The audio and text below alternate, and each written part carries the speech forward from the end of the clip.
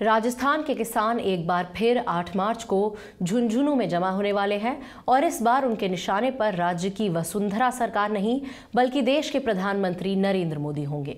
8 मार्च को पीएम नरेंद्र मोदी झुंझुनू में एक जनसभा को संबोधित करेंगे।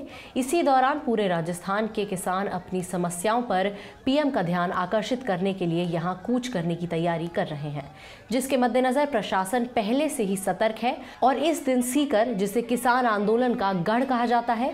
वहाँ धारा 144 लगा दी गई है। राजस्थान के किसान संगठनों ने जिस तरह से चेतावनी दी है, ऐसे में ऐसा लगता है कि 2017 वाला किसान आंदोलन फिर एक बार देखने को मिल सकता है।